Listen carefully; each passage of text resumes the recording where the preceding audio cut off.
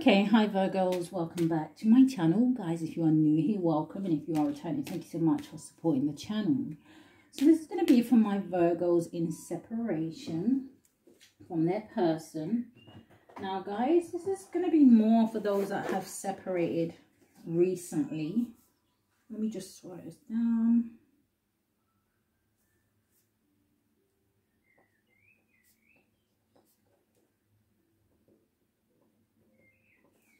Not bad, guys. Yeah, for those of you that are in separation from your person, let's see how your person is doing at this time. Again, these are general readings. They are not going to resonate for everyone. Take the parts that resonate for you and leave the rest, okay? All right. Thank you to those who have reached out for personal readings and for those who have donated to the channel. Anybody interested in a personal reading, my information is always down below, guys. All right, so give me some cards for Virgo's person that they're in separation from. Well, that came out straight away. Courtship, okay. So this may have been somebody that you were dating. This may be somebody who wants to reach out to you to kind of...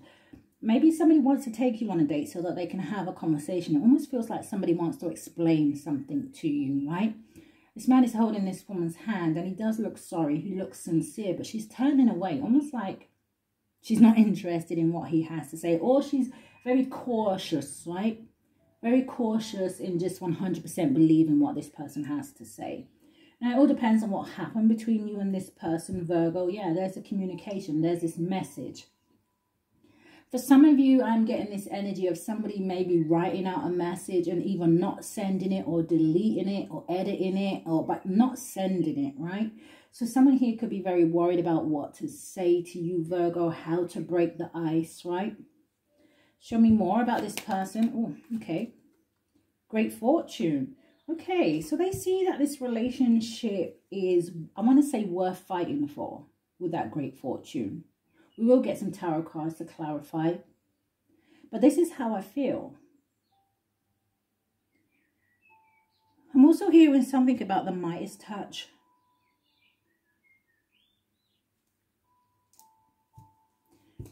Give me two more cards. How's this person feeling without Virgo? Yeah, the house card. So for some of you, they want to come and visit you here. Um, give me one more. Now, there could be some issues over a home here. Is also what I'm hearing. Expectation. And at the bottom of the deck, we have bad health. For some of you, this may have been somebody that you were married to, right? Or this could have been a very long-term relationship. Now, I'm not even going to lie to you. For some of you Virgos, I'm actually going to do a reading on that. For some of you Virgos, you may have been in a third-party situation, right? Your person may be stuck in some kind of other situation where they're not happy here, right? Maybe this is why this you and their situation was only in the energy of maybe dating or things like that. Maybe you were just getting to know each other. I'm also hearing this wasn't supposed to happen. So what wasn't supposed to happen? Now, for some of you, this person may be thinking about coming towards you to give you some kind of a gift, right? Now, the gift card could also be that somebody here is handing you some kind of an apology. But for some of you, it may be something physical. For some of you, this person can't even work. I mean, they probably are working here, but it, um, not that they can't work. They're probably finding it difficult to concentrate is the word that I want to use, right? With the despair and the toil and labour. Now, for some of you, this may have been somebody that you worked with, right? Or work with now. So it's sometimes that energy is like, you know, don't mix business and pleasure for some of you. Now, for some of you, maybe this person is watching you somehow, especially if you have some kind of a platform or something like that.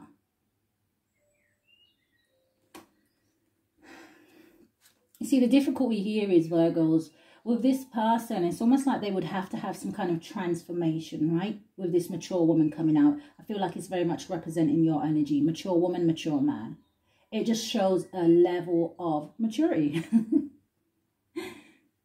I just feel like for some of you, you are too advanced for this person. Does that make sense? It's almost like they would have to meet you on your level.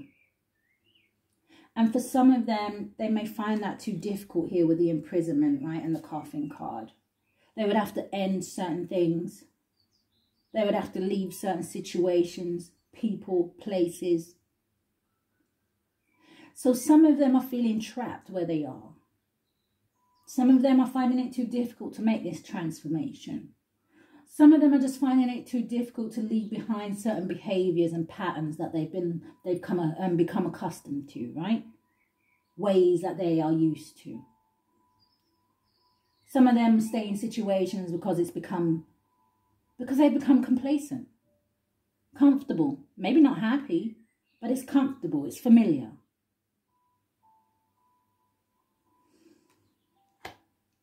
Now, for some of you, I'm not even going to lie, this may just be for one person. For someone here, um, there may have been a delay in terms of getting together. Maybe somebody is coming to the end of some kind of jail time with the coffin and the imprisonment card, right?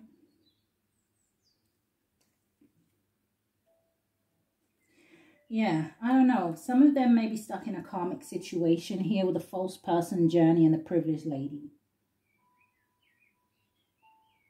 For some of them, Virgos, they made a wrong choice here between you and somebody else.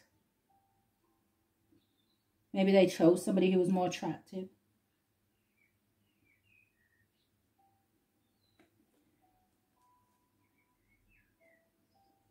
For some of you, these people, if you were in a third party situation, which I do see that a lot of you are, that situation that they were in may be coming to an end.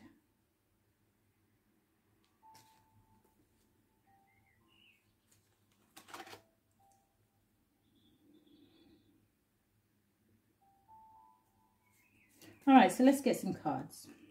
Let's get some tarot. How's Virgo's person feeling since the separation? What is the courtship card? Show me. What is the courtship card here for my Virgos? Coming out sideways. Someone here didn't take control before. But it's coming out sideways, right? So this could be the energy of somebody who's very much thinking of taking control. Now with the courtship card, you have the Emperor. Now, this could be somebody who owns their own business, right? Somebody who is a CEO or has some kind of status. I don't know why I'm hearing the law firm, so someone here could work as a lawyer or solicitor or something like that. But you have the Emperor coming out, so some of you could just be dealing with an Aries or a Taurus here. Show me more for the courtship. Show me more for the courtship card, thank you.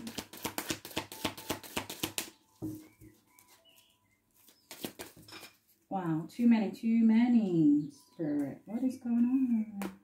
So we have quite a few coming out here. Got the King of Wands in reverse. We've got the Two of Swords in reverse. Now, with that bad health, somebody here may not be feeling stable. They may not be feeling motivated. They may not be feeling encouraged. The King of Wands in reverse, to me, usually is someone who is a player, usually a liar, a cheater. The Two of Swords in the upright talks about being at a crossroads. So this is someone who is not at a crossroads anymore. I feel like this is someone who, I don't know, they're not stuck anymore somehow, but they're in reverse. What's come out here? Yeah, look at this. The Four of Wands, the Six of Swords, and the Justice. I feel like somebody here is walking away from a marriage here. Or like I said, someone they live with, someone they've had a long relationship with, built some kind of foundation. The Six of Swords talks about moving to calmer waters and the Justice card could represent divorce or a legal situation. But somebody here is not stable. Or they're just feeling down. They're feeling depleted. Let's put these back because that was way too many cards. Just give me two more cards for this Emperor. I just put them in the wrong way. Let me see. Put the wrong way. Turn me two cards for this Emperor. How's Virgo's person feeling since they left? Show me. So for some of you, this person may even have left you and got married to somebody else. Look at this, since you left. Five of Wands, conflict, chaos, drama, fighting, arguments. Give me one more card for the courtship. Thank you. And yeah, some of you are dealing with strong Aries energy. The Emperor, the Fool. We saw the King of Wands. Now, the Fool card talks about somebody taking a leap of faith to go in a brand new direction. So after some kind of chaos, drama, or conflict, this person may be wanting to come back towards you here, Virgo. Someone may be actually finally standing up and taking control.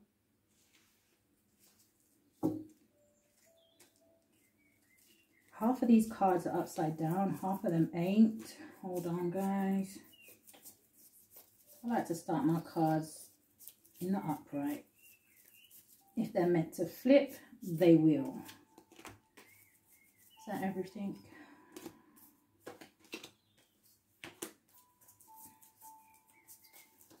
today. Right, is everything else in there? All right. There we go. So what is the Five of Wands? What is this Five of Wands for this person?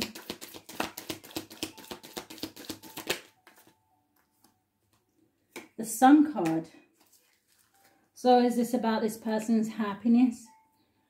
Is this person having arguments in another situation? Do some of you have a child with this person? But I don't know. If they're in another situation, it kind of seems like, I don't know, either this child is causing some arguments for the person that you have left behind and maybe somebody who they're with. Or this is about them trying to um, figure out where it is that they're happy, right? What is the Sun card? Leo energy. Because we saw that King of Wands in reverse, which could very well say that somebody there is not happy, right? The Sun card, we have the Nine of Pentacles, which is Virgo energy. So this person could even be in a whole other relationship and arguing about you, Virgo. Ace of Swords at the bottom of the deck, so that is going to be the truth for somebody here. The Chariot, the Five of Cups. See, some of you left this person behind and it almost looks like they're crying over spilt milk, right? Some of them, they made a wrong choice. It is what it is. You made your bed, lie in it, that kind of energy.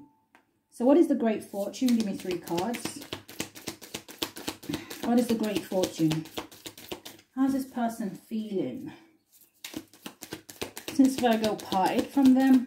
See, for some of them, they feel like you glowed up somehow, some way since you left, right? Things have been happening for you. For some of you, you have the justice card here, right? So even if things have turned out better for you, it's because of justice karmic here, right? This is good karmic that you are receiving, right? A lot of you, you're going to find that maybe you're going to get some kind of financial rewards, some financial blessings here with a great fortune. What is the justice card? For some of you, this is going to be via work. I just saw the three of pentacles. The page of wands. Yeah, good news coming towards you here. Now this person is seeing you as good news, Virgo, right? For some of you, they may be wanting to come in and balance the scales here with the Justice card, wanting to do things the right way, right? Um, you also have the Four of Wands at the bottom of the deck with the Queen of Swords.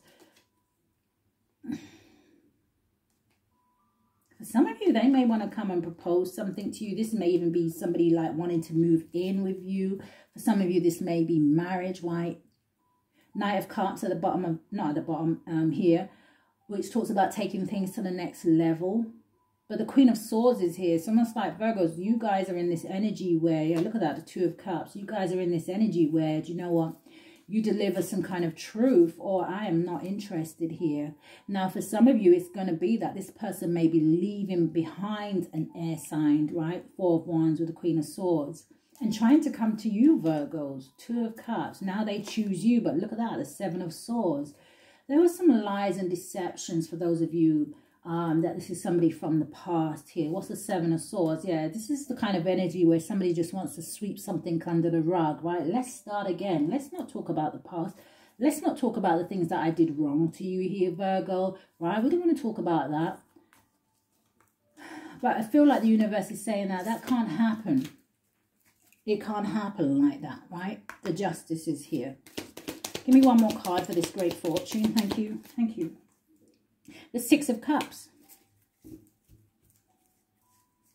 Now, the Six of Cups talks about somebody from your past. Now, for some of you, I'm also getting this energy here. I don't know who this is for. I feel like some of you may have lost something in the past or you've had to sacrifice something here. I feel like the universe is coming back to give it to you. What is the house card? And I feel like it's going to leave this person in their head here with the Eight of Swords. Somebody here is in their head about something. The Eight of Swords is a mental prison. The house card, the King of Swords. We just saw the Queen. Now the King of Swords talks about truth. It talks about it could be some kind of authority figure. What is the King of Swords?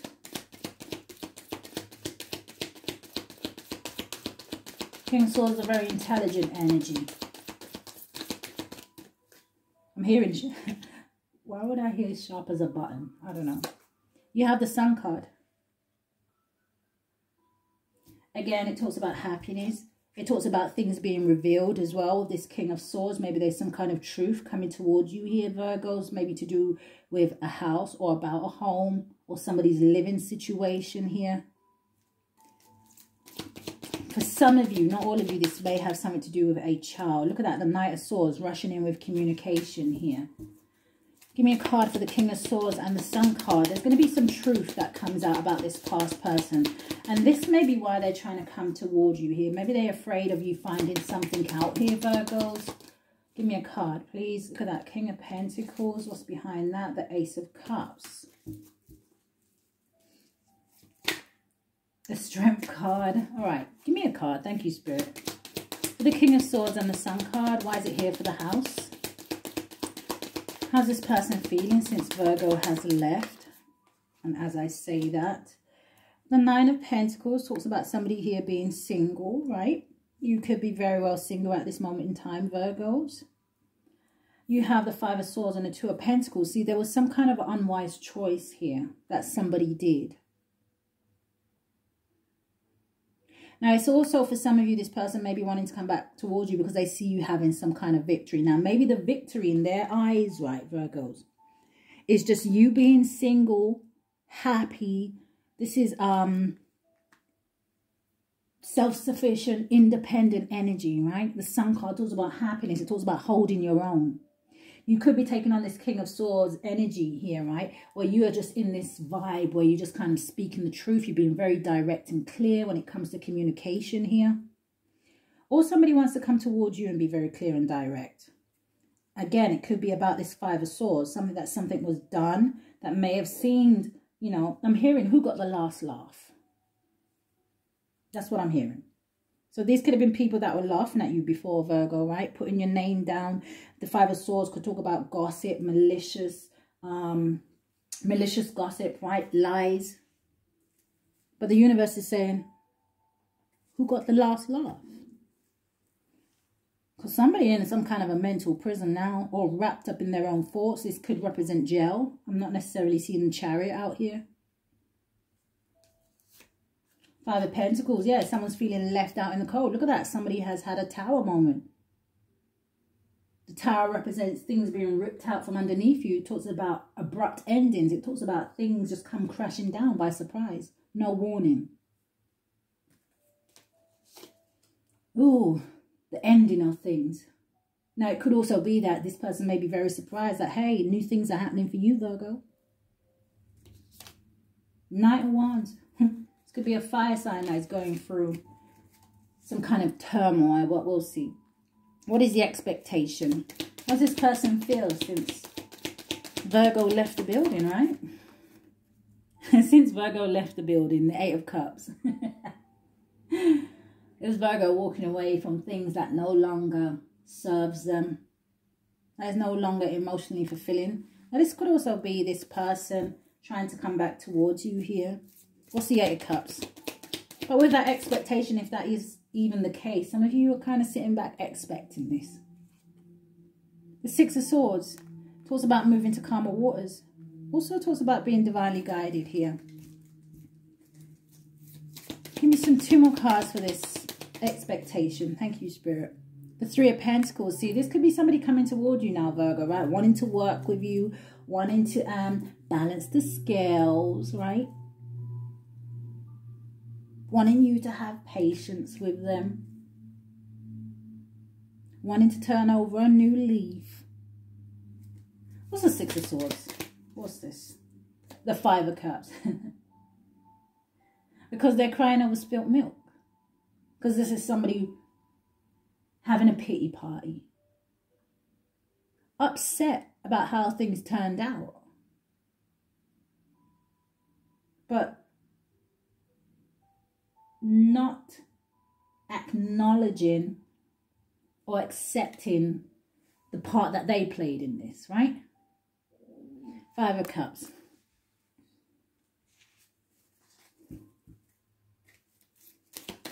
I don't know, for someone, I feel like this is someone who may be, um, all right, let's look at, what's the marriage and the bad health? Someone who is upset that you're having some kind of victory here, Virgos, that you are being seen. And I'm hearing rightfully so.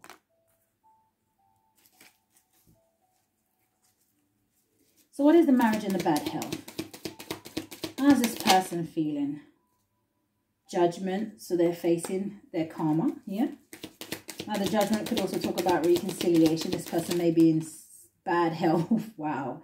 Um, because they want to reconcile with you. The Nine of Wands, yeah, but they don't know if they have the strength to do this, right? The Nine of Wands is, I'm tired, boss. Again, they may be in something, a relationship or with somebody else that is just stressing them the hell out here. If that is the case, this is somebody looking at that situation and saying, I don't know if I can do this anymore. Ten of Swords. Spirit says what goes around comes around. So if they are stuck in a situation, like I said, Spirit called judgment on this. And then the Ten of Swords, it does also talk about here, Virgos, that, you know what, for you guys, the worst is behind you, right? You guys are healed. And this person is feeling beat down. Stressed out, don't even know if they can get up. It's probably someone who sleeps a lot. I feel like this, for some of you, this other person may be in a, in a marriage or something like that. And I don't know if that's what they hid from you with the Hierophant here, right? Ten of Wands. Look at, look at, look at what they're in. Ten of Wands. Carrying all this baggage. Feeling weighed down. Feeling tired. I'm hearing for some of them, they're in a situation that is stagnant. It's not moving. I'm hearing the word chaotic, dramatic. King of Wands. Yeah, for some of them, they, they thought it was fun to have you in a third-party situation. They thought it was fun to be the Knight of Wands. In and out. Player energy. Spirit said, uh, okay. We're just going to wait for that wheel to turn.